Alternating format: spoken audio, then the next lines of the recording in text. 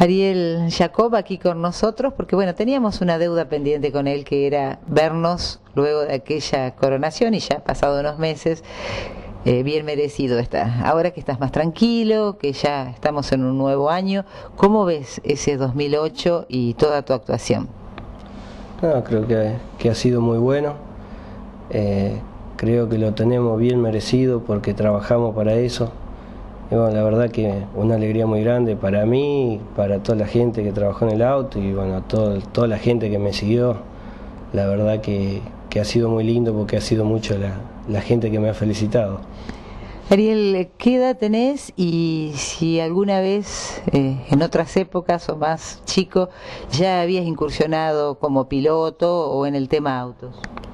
Bueno, tengo 32 años y no, la verdad que siempre de chico me gustó, pero por ahí la situación económica no, económica no daba para eso. Y bueno, pues tuve la suerte de un día que Claudio Susmiten me habló para, para armar un auto junto con Fabián Albre y bueno, la verdad que primero parecía que era algo que no se podía dar y bueno, gracias a Dios, trabajando después de, de dos años casi, llegamos a armar el auto.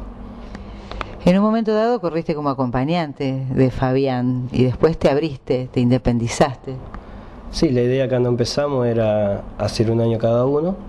Y bueno, yo hice un año de acompañante con él y después hice un año manejando.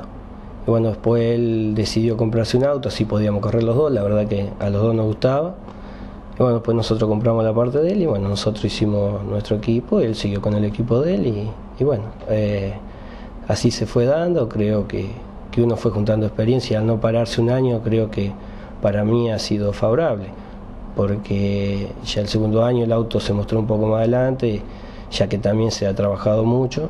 Y bueno, este es el tercer año en el 2008 que estábamos en la categoría y bueno, haberse consagrado campeón, la verdad que, que para nosotros es muy bueno.